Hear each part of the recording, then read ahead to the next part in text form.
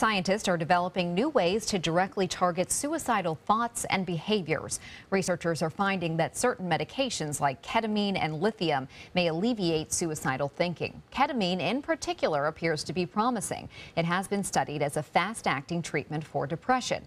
While some antidepressants take weeks to work, ketamine can lift mood in as little as a few hours. Scientists are also tweaking existing psychological treatments like cognitive behavioral therapy and coming up with new ones to combat suicidal thoughts.